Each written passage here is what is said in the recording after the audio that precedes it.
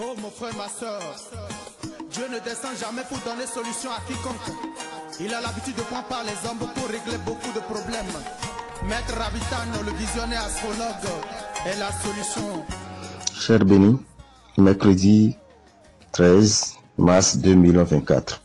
Le prénom que portera un enfant de ce jour, c'est Aloanou.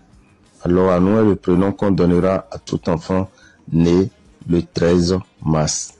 13 mars 2024, nous avons Azon dans le Faisan. C'est un jour défavorable pour toute action d'ordre spirituel. Vous qui voulez faire des sacrifices, vous qui voulez faire des rituels, aujourd'hui est un jour défavorable.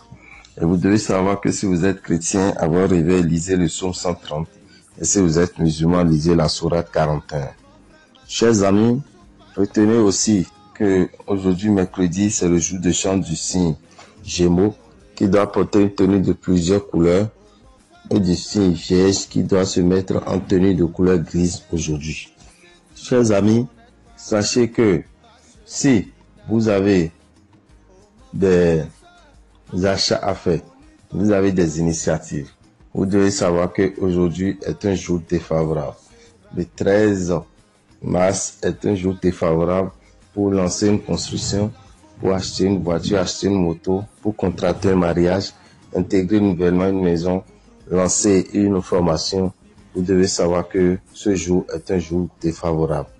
Et chers amis, sachez aussi que l'ange gardien de ce jour, c'est l'ange Chayael. Chayael est l'ange gardien de toute personne née le 13 mars.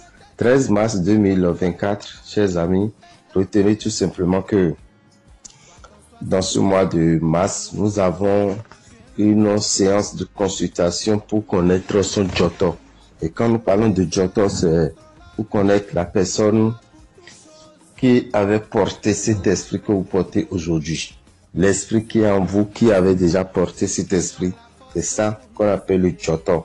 Et connaître le Joto, c'est une très bonne chose. Ça vous permet d'être défendu spirituellement. Ça vous permet de résister aux tempêtes spirituelles. Ça vous permet de vivre mieux. Donc prenez les dispositions et sachez tout simplement que aujourd'hui c'est un jour qui porte un mauvais jour sur le plan matériel, sur le plan spirituel également. Donc ne rien entreprendre aujourd'hui, ça serait pour vous. Sur le plan spirituel, nous avons Sur le plan matériel ou sur le plan physique, c'est bel et bien signalé qu'il aura que ce jour est un mauvais jour et qu'il ne faut pas lancer une activité ce jour. Merci à vous. Pour tout renseignement, appelez le 96 44 90 89 94 46 15 15. Je vous remercie.